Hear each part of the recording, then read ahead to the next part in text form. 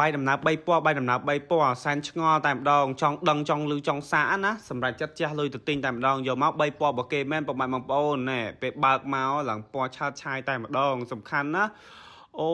យតំណងគួរចង់ញ៉ាំមែនតើដូចក្នុងរូបអញ្ចឹងដែលគេនិយាយថាបាយដំណើប3ពណ៌ហ្នឹងបានគឺមានពណ៌បៃតងពណ៌ក្រហមនិងពណ៌ស្វាយហើយនេះគឺជាប្រភេទ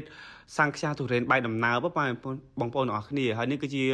ទុរេនដែលយើងកំពុងតែបើកយកមកស្រូបជាមួយនឹងបាយដំណើបពុកម៉ែបងប្អូនហើយទុរេនរបស់គេបើកមកឡើងឈ្ងុយមកពុកម៉ែបងប្អូនបាទគឺឈ្ងុយខ្លាំងណាស់ដោយសារទុរេននេះឬគាត់និយាយថាទុរេនធម្មជាតិដែលគាត់ដាំនឹងចង្ការគាត់ខ្លួនឯងណាដល់ពេលខែទុរេនមកអញ្ចឹងគាត់អត់សូវលក់ឲ្យអស់ហើយគឺគាត់យកទុរេនហ្នឹងយកមកស្តុកទុកក្នុងទូទឹកកកដើម្បីយកមកធ្វើខ្ទិះទុរេនអញ្ចឹងណាពុកម៉ែបងប្អូនហើយនេះគឺជាប្រភេទខ្ទិះដូងដើមដែលគេយកមកដាក់ជាមួយនឹងសង្ខ្យាទុរេនដូចគ្នាបាទហើយខ្ញុំសូមបញ្ជាក់បន្តិចពុកម៉ែបងប្អូនអរគ្នាសម្រាប់បាយតំណាប់សង្ខ្យាទុរេននេះគឺខ្ញុំញ៉ាំមិនមែនជាលើកទី1ទេគឺខ្ញុំញ៉ាំលើកទី2ហើយអេលើកទី3ហើយ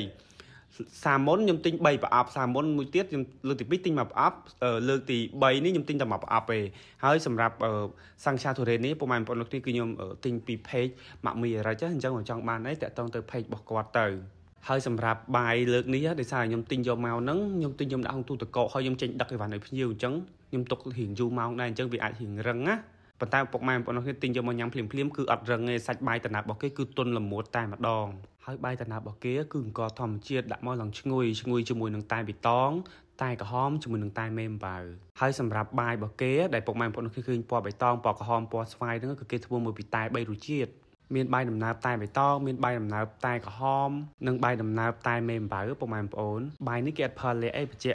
គេផលប្រភេទតែធម្មជាតិពុកម៉ែបងប្អូន